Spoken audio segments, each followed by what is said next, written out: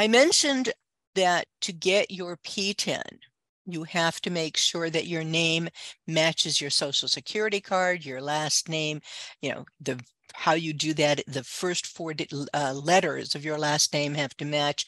Most importantly, you have to have visible ID that matches your name.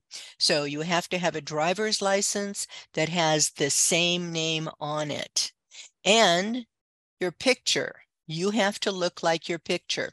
Now, I'm not being funny when I tell you that if you look very different from your picture, you need to update your picture ID before you go to the exam.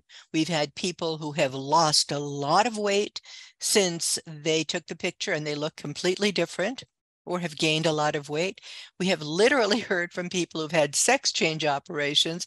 They don't look like their ID anymore.